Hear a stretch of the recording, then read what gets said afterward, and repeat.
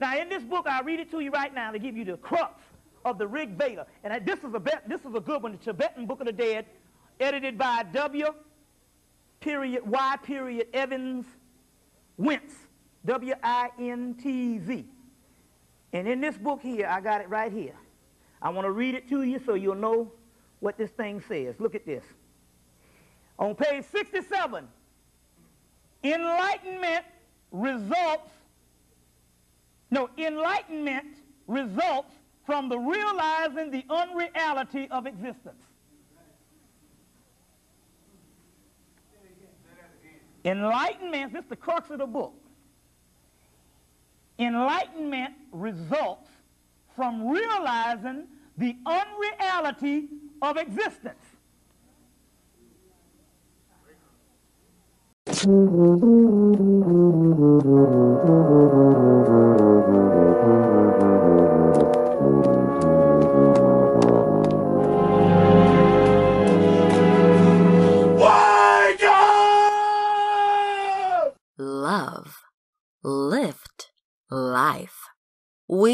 Into your mind, body, and soul.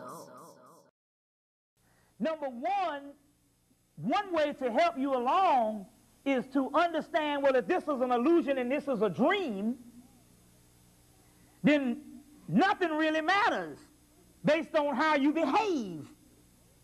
But we're talking about a thought condition. And that's just what it is. Um, there's a good book. You want to learn about the Matrix? Well, I'll put one on your ass. Oh, yeah, you want to learn about some goddamn Matrix?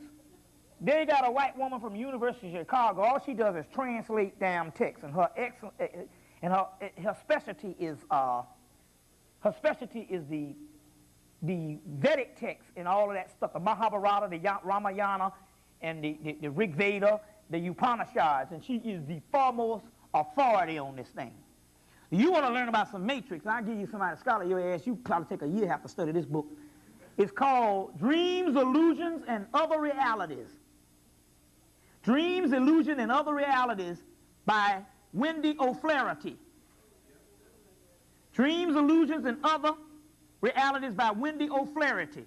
Her name is actually Wendy Doniger O'Flaherty, but when they type it up, Wendy O'Flaherty. Uh, yeah. Um, the name is O apostrophe F L A H E R T Y. O'Flaherty. Apostrophe O, o apostrophe o, o apostrophe F L A H E R T Y. Wendy O'Flaherty, University of Chicago Press. And this book is called Dreams, Illusions, and Other Realities. And there's, there's one in there in a text where they talk about this sage that went to sleep. And he dreamed it was a woman. Then the woman dreamed that she was a doe or a deer, and the deer dreamed that it was a flea, and the flea dreamed that it was a weed, and the weed dreamed that it was a bee, and on and on until you got a whole goddamn civilization. And then one of the animals dreamed that it's Rudra, and Rudra is the a form of Siva, which is the Hindu Horus. And then when when it dreams it's Rudra, Rudra realizes he's dreaming and he wakes up and all this shit disappears. And that's how it is in your mind. You see? It's only a dream. You see? But when a God dreams, the reality is stronger. You know that book, the Spirits book? Everybody tell you get that book, the Spirits book. You know who the book is by? Alan, what's it? Allan Kardec. In that book, they talk about they have these, these, these, these entities on the other realm. And they be like, you know, they be like, oh man, I get, I, I'll incarnate down there on that damn earth. Oh man, I, man, if I get down there, man, I'll be running shit. They be like, man, I'll be, I'll be running shit. I'm, I'm gonna go down there and rule. Soon as they get down there and they get in that damn brain and they lose their mind as a little baby, shit, they end up about 18 years later and shit, you know, and standing around some damn club and shit with a bull can in their hand. Don't know their ass from a hole in the ground. This was the same person a few years later talking how they going to get down there and do some shit. So when God starts to dream, it's powerful. That's why you can't wake up from the shit.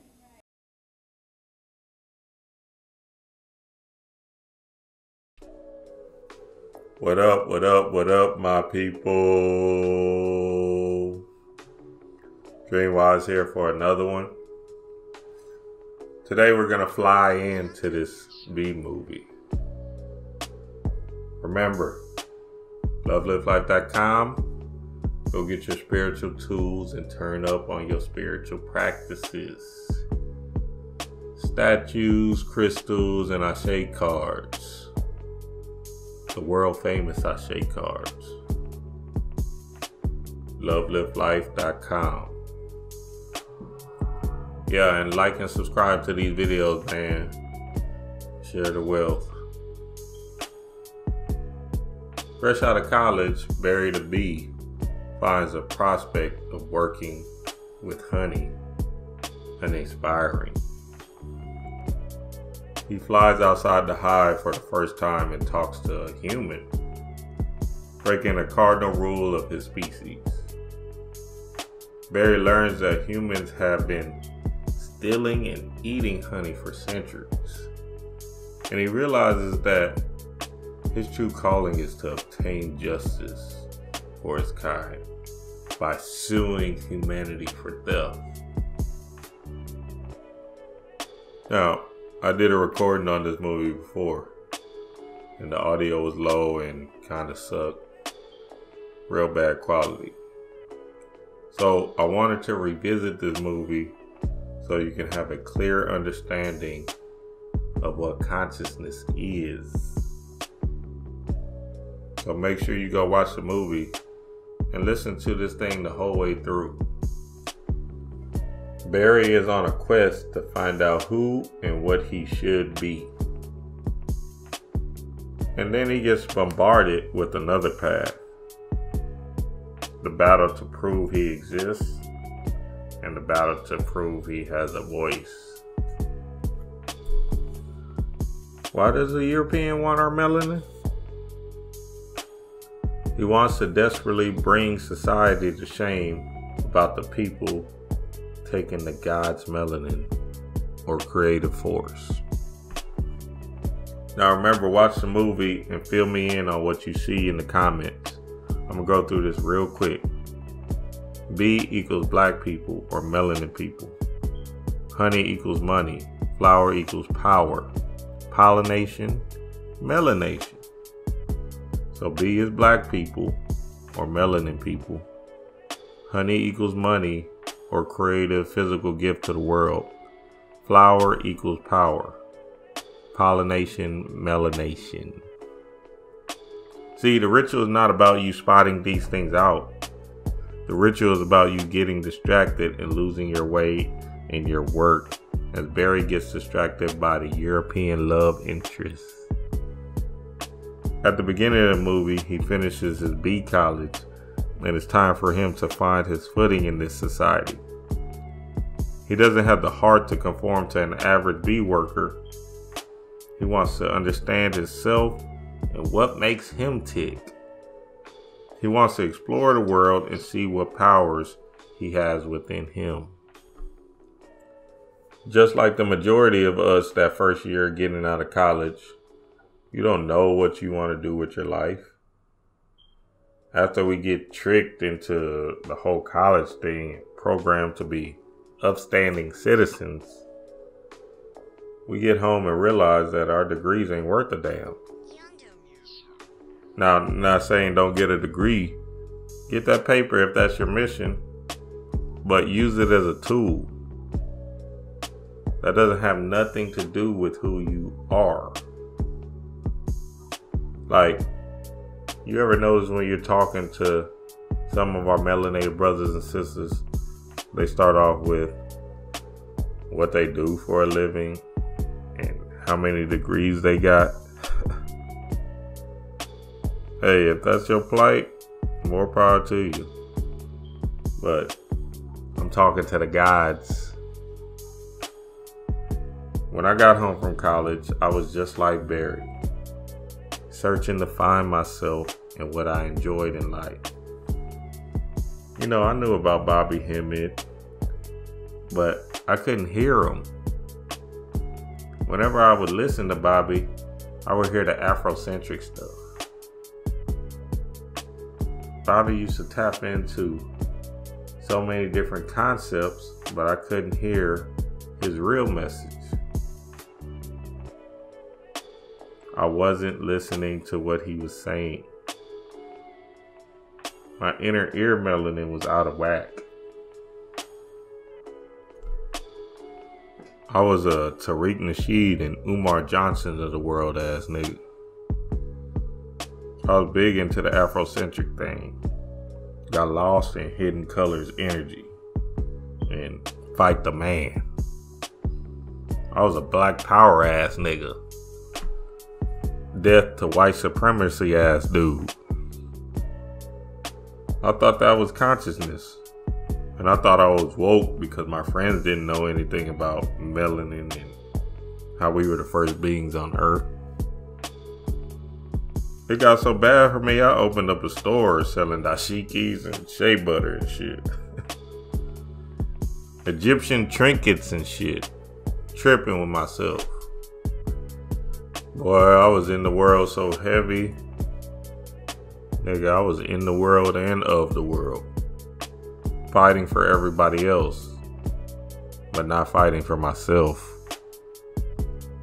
See, I had to let go and let God. Not until I fell in a panic did Bobby start to make sense to me. Barry had the same energy I had as he was trying to sue the white race for theft. They were stealing the bees' honey. They were stealing the black people's money or basically creative physical gift to the world. Barry was in an uproar and had to make sure his voice was heard. He wanted all the bee farms to stop and all the bee slave workers to stop being gassed with the chemtrails. Let me ask y'all a question though. If you are white and knew you had no existence, what would you do? if you knew that if we don't keep these black people under mind control, our existence will come to an end, what would you do? And obviously, it's not all of the European controlling this thing. It is just that 1% that controls your media, food, neighborhoods, and so on. They're trying to survive they're trying to survive in a world that they know if we wake up and start wielding our power, oh, it's over. They're doing what they're supposed to do. It's time for us to do what we're supposed to do. And fighting the man and worrying about their agenda is not pushing that light body inside of us. See, Barry ends up winning proving his case and freeing the world. All the bees were free to do what they wanted. And that pollination, melanation stopped, destroying the planet. Barry won and he felt his victory was bittersweet. See, in the movie, they're saying, okay, black people, here's your world back. Now what? You still don't know thyself. Still don't know knowledge of self. So what does that matter? Occult, metaphysics, and spiritual concepts is the real journey within. And the only journey we're supposed to be on at this time and space. Barry starts feeling bad and starts to restore the world by getting all the other bees to start pollinating it again. He ends up at the end becoming a lawyer and jumping right back into the system. The distraction leads him from trying to get to know himself to working in the society and conforming back to humanity. Your melanin is a strong and powerful tool within you The Problem is, most of our people are using it wrong. They don't know or they don't care to use it to tap into the deeper aspects of themselves. To actually do the spiritual work and go within is a rare commodity in this quote unquote woke community. You are different. You are the one that sits down and understands that this illusion has nothing to do with you. Keep smelling the flowers, man. And power up your melanin through the love of self. Dream wise.